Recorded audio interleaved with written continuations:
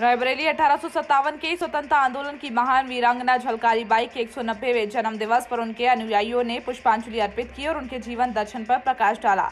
22 नवंबर को सारस होटल के समीप स्थापित वीरांगना झलकारी बाई की मूर्ति के समीप वीरांगना झलकारी बाई कल्याण विकास परिषद और अन्य सामाजिक संगठनों ने राष्ट्रमाता वीरांगना झलकारी बाई को श्रद्धा सुमन अर्पित किए। प्रतिनिधि अध्यक्ष नगर पालिका परिषद एडवोकेट मुकेश श्रीवास्तव ने संबोधित करते हुए कहा कि वीरांगना झलकारी बाई का कद और पद राष्ट्रीय स्तर का है।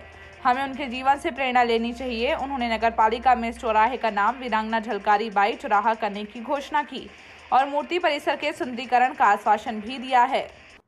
लेटेस्ट न्यूज़ देखने के लिए प्राइम ब्रेकिंग न्यूज़ चैनल को सब्सक्राइब करना न भूलें और साथ ही डेली अपडेट्स पाने के लिए बेल